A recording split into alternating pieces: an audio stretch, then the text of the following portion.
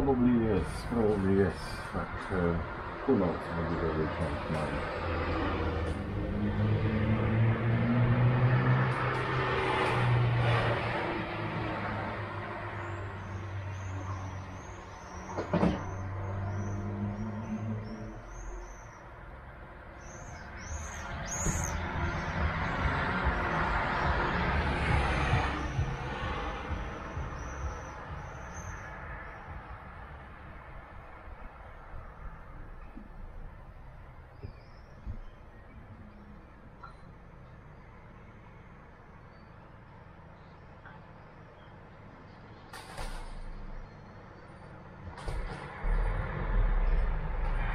Sorry, sir.